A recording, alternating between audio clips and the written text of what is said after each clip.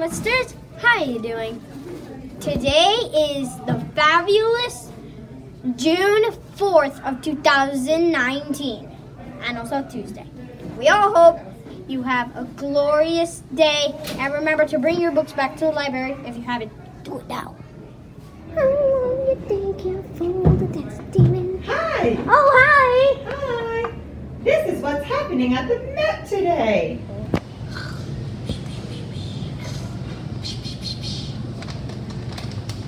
Oh my gosh, I was slipping. Oh, sorry, misters.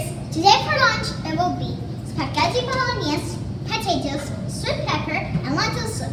We hope you like it. Have you realized anything, Mixers?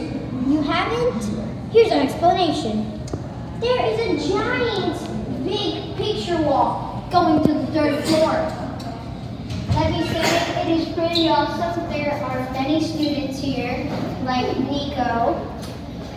And yeah, I just want to say, pretty awesome. Catch you guys later. Yeah, Miss Corbett with me. Miss Corbett, do you have anything to say or any reminders?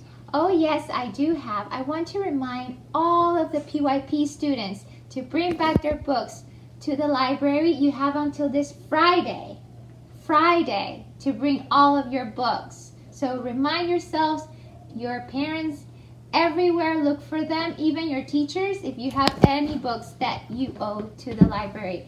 Remember, all of the books of the library, or most of them, they have a barcode, just like this And one. a signature.